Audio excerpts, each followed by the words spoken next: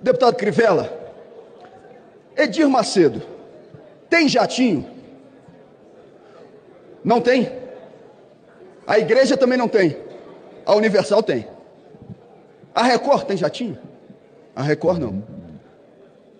Por esse texto, que os senhores e as senhoras estão aprovando, o jatinho da Igreja Universal, que vier a ser comprado por Edir Macedo, vai ter um cashback de 30% do valor da compra.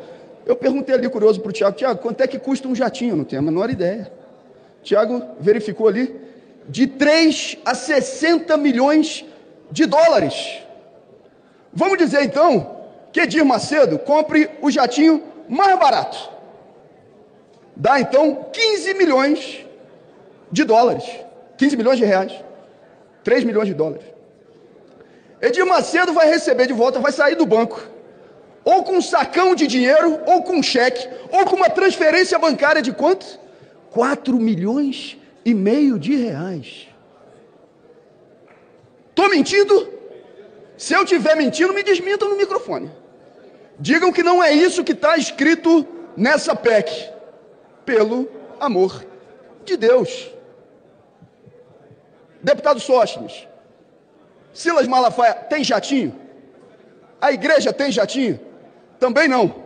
Pretende comprar?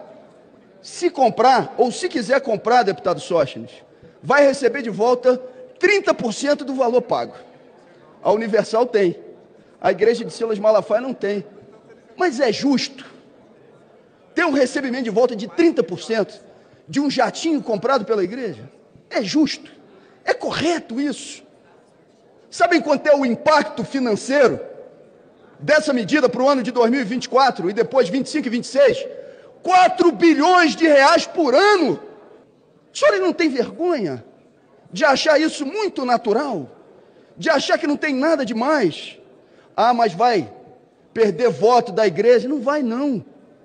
Tem que dialogar com o povo de forma correta, objetiva e sincera.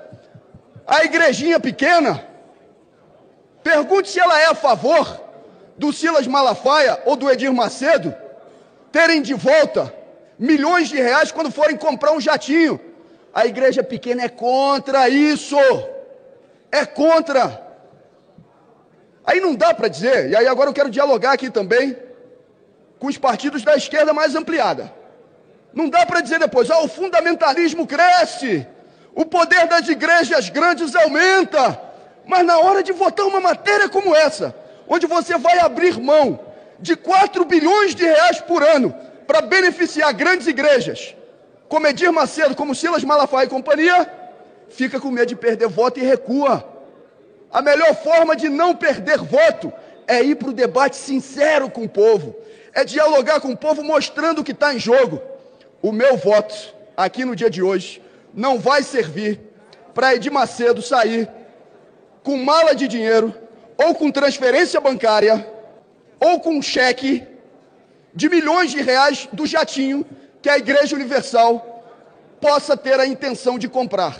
Ah, desculpem, senhoras e senhores, isso é o absurdo dos absurdos.